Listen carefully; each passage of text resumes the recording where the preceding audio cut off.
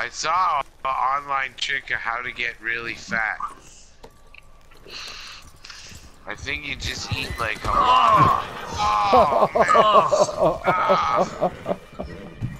God, we're crappy horse drivers, eh? Okay. it's because they don't stop the damn horses. That's Yeah. the problem. They keep going.